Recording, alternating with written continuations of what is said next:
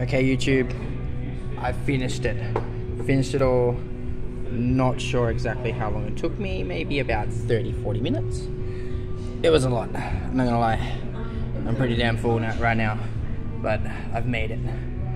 Made it. Made the challenge. It's not actually not a challenge, but I just made a challenge to myself. It's pretty good.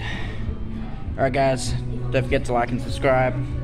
Um, I'm sorry for the double video. I'm gonna try join this video together, but I paused my video and then yeah, it kind of like I closed my phone and it didn't hold the pause, so that sucked.